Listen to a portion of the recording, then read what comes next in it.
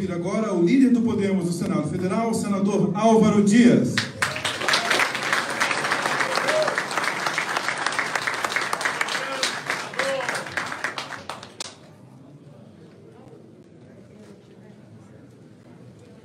Meus amigos, minhas amigas, presidente Renata Abreu, é uma honra pertencer a um partido presidido por uma mulher, uma mulher com a qualidade da Renata Abreu, com a competência, com o dinamismo, com a fé que carrega consigo, com a esperança que tem do futuro desse país. Uma honra, César, ter você como presidente do Podemos do Paraná. Um prefeito exemplar, administrador ímpar, uma esperança de futuro para esse Estado. Sem dúvida, uma liderança política emergente. Eu não preciso ser pitoniza, não preciso ter bola de cristal. Podem esperar o César tem uma caminhada vitoriosa à frente. E será muito bom para esse Estado.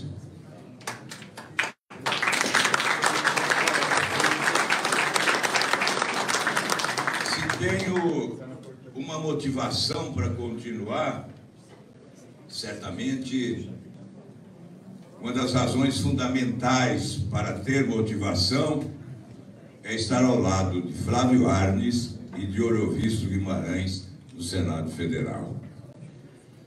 Nós constituímos uma bancada de unidade paranaense que transbordou dos limites desse Estado e passou a ser uma bancada de unidade brasileira, na defesa de princípios essenciais para a existência da República, que mais se parece império porque nossas autoridades assaltam o poder para preservar os seus privilégios, ignorando as aspirações da sociedade.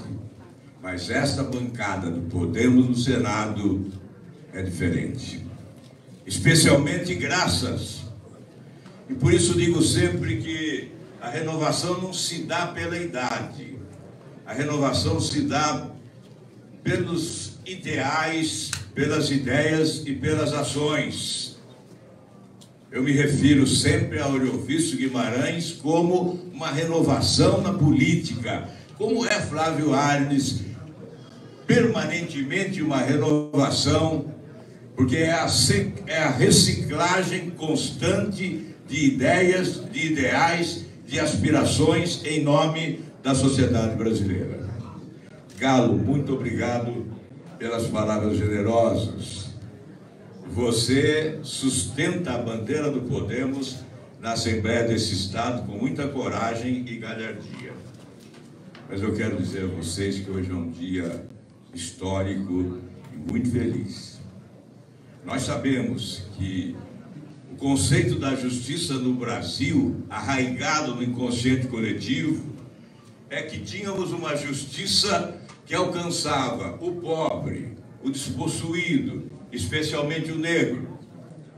E depois, nós tivemos o marco de um novo rumo, ou o estandarte da esperança, quando chegaram os corajosos do sistema judiciário brasileiro, liderados por Sérgio Moro e Deltan Dallagnol. A partir daí, nasceu a esperança de uma nova justiça. E os barões da corrupção, os políticos de notoriedade, mas meliantes de colarinho branco, foram colocados atrás das grades nesse país.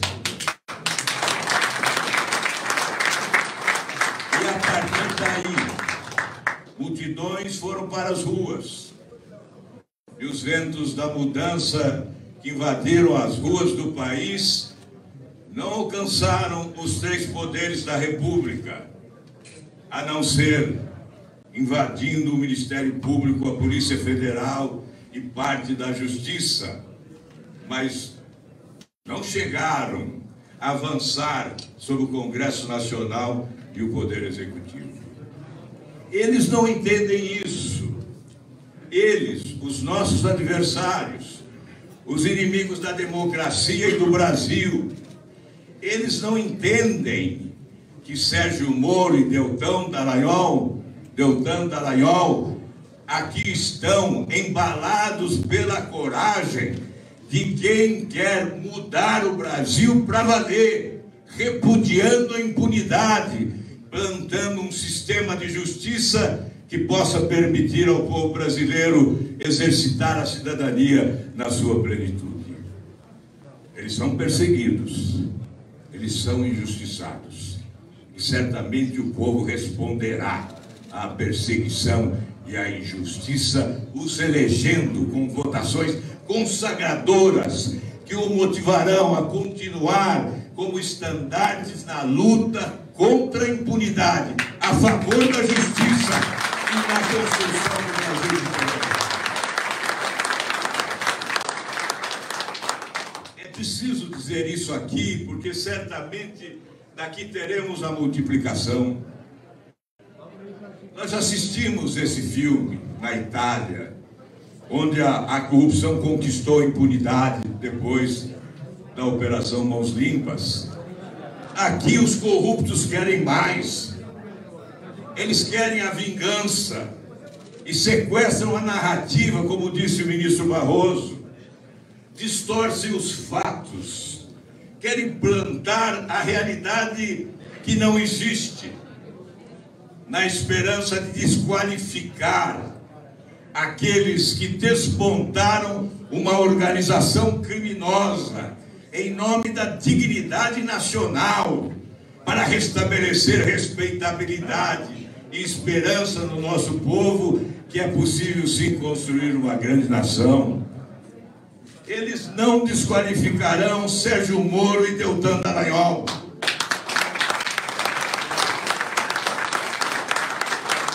Eles terão um Brasil decente pela frente não discutiremos preciosismos jurídicos. Fiquem os preciosismos jurídicos para o debate dos tribunais e da academia. Nas ruas do Brasil, o que nós vamos discutir é: roubaram ou não roubaram? Assaltaram o Brasil ou não assaltaram o Brasil? Essa é a discussão que o povo brasileiro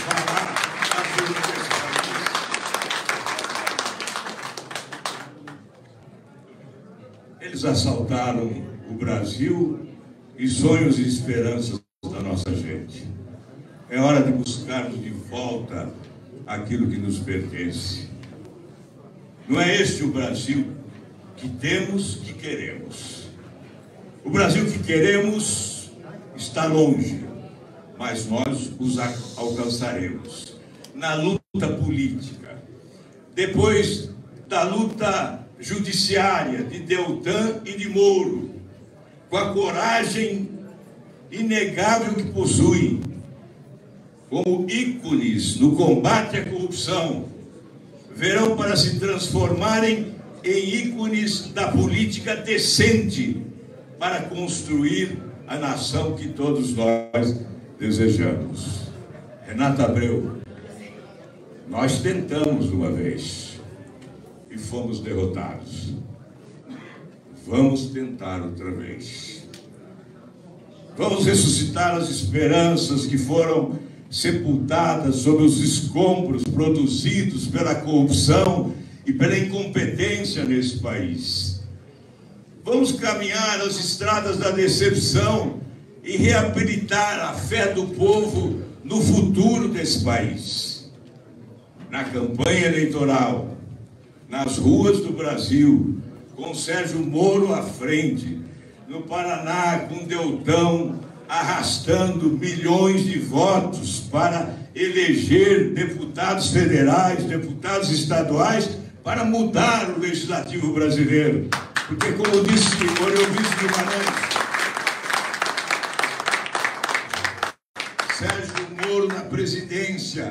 precisará de um Congresso renovador e renovado. Portanto, prisão em segunda instância, foro privilegiado, 10 medidas de combate à corrupção, 38 medidas de combate à corrupção. Não, para eles não. Para eles é abuso de autoridade, flexibilização da lei de improbidade administrativa. Para eles é a gaveta para o foro, para o fim do foro privilegiado. É a gaveta para a prisão em segunda instância. Deltan, você vai liderar na Câmara dos Deputados um movimento avassalador para superar as resistências e plantarmos no coração do povo brasileiro a esperança de um país justo, com um sistema judicial que possa se equiparar ao dos países mais avançados, onde todos seremos iguais perante a lei. Essa é a nossa missão. Essa é a missão do Podemos. Que Deus nos ajude, que Deus nos ilumine a sermos dignos desta missão. E como dizia Raul Seixas, tenha fé na vida, tenha fé em Deus, tente outra vez, vamos tentar com Sérgio Moro, presidente da República.